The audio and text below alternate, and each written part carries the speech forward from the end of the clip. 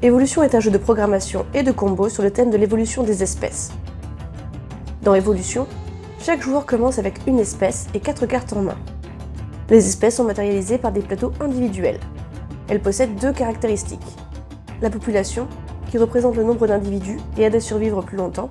La taille, qui permet de se protéger des prédateurs. Les cartes définissent des traits. Ces traits peuvent être défensifs, agressifs, axés sur la nourriture, etc. Une même espèce peut avoir jusqu'à 3 traits. Une partie d'évolution dure un nombre indéfini de tours.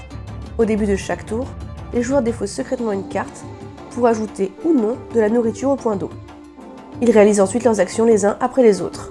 Chaque action coûte une carte.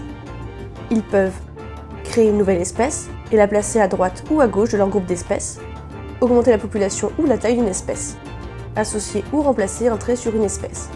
La carte est placée face cachée et n'est révélée que lorsque tous les joueurs ont terminé. Lorsque tous les joueurs ont fait leurs actions, la nourriture est placée sur le point d'eau. Les joueurs nourrissent ensuite leurs espèces. Ils prennent chacun leur tour une nourriture jusqu'à ce qu'il ne reste plus rien ou qu'il n'ait plus faim. Si l'espèce est carnivore, elle ne peut pas se nourrir sur le point d'eau. Elle doit attaquer une espèce plus petite et gagne autant de jetons que sa taille. La population de l'espèce attaquée diminue de 1. Si une espèce n'a pas pu manger suffisamment, sa population baisse jusqu'à son niveau de nourriture.